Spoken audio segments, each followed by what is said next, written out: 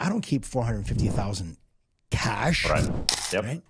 But was borrowed against a life insurance policy. And and then after you have the flexibility, you can cash out refi, you can do a lot of different things. But but ac- accessing access to capital is king, right? Like and and that's where Nelson Nash in his book, I think my favorite quote that I got from him when he wrote the infinite banking concept, you know, the become your own banker book, uh, was the more money you have, the more opportunity has a way of tracking you down right? Like and so and that's the thing like i you know we're launching a private equity fund and we're doing this hotel down in the dominican republic and retreat center and doing all these things. And that only happened because we had access to capital right? Like you can't get loans to go build in the dominican republic or do stuff like that right now. So we had to secure it all with personal stuff. And had it not been for our whole life policies that would have never been possible Well, why is there more millionaires created during a recession?